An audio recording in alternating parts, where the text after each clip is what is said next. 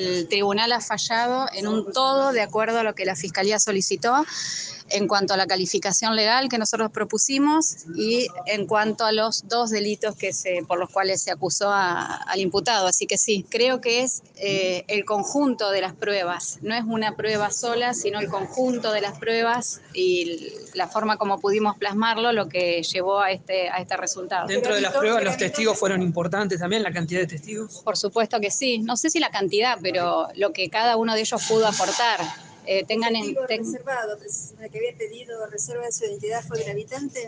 Entre, entre otros, pero por supuesto que sí. Nosotros tuvimos a partir de ese testigo una visión exacta de lo que ocurrió instantes después del hecho y supimos cómo se fue la persona del lugar, en qué se fue.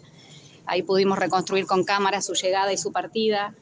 La, empleada del, establecimiento que estaba junto con la víctima, también por supuesto que aportó lo suyo, y lo importante es que todo eso que ellos dijeron se corroboró a su vez con lo que era eh, la pericia balística, con el inventario de motovehículo, con lo que pudieron captar las cámaras, así que por eso insisto que fue una cuestión de la prueba en su conjunto. En la gorra que desde un primer momento siempre supimos y estuvo fuera de duda que pertenecía al delincuente, eh, se halló eh, material genético de su linaje paterno. Esto lo explicó muy bien la perito que, que, aportó su, debate, su testimonio en el debate, en el sentido que el material genético era exclusivamente del padre o de un hijo del imputado eh, descartamos, por supuesto, la posibilidad de los dos, porque por las cuestiones que, se pudieron aportar, todos los testigos eh, apuntaron a una persona joven, las características fisonómicas del acusado coinciden con las que veíamos en el video, el, la fila, el reconocimiento en fila de personas también no arrojó dudas respecto de que se trataba de una persona de joven edad, así que